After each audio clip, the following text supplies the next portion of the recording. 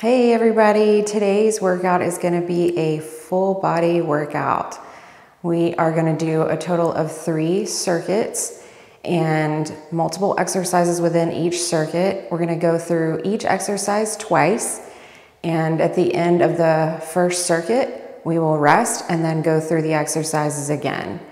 All you need for today's workout is a pair of dumbbells. You might need a couple different sizes, so go ahead and have those ready.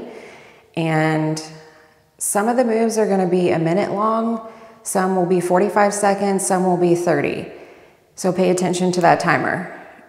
Now, are you ready to sweat? Who's ready?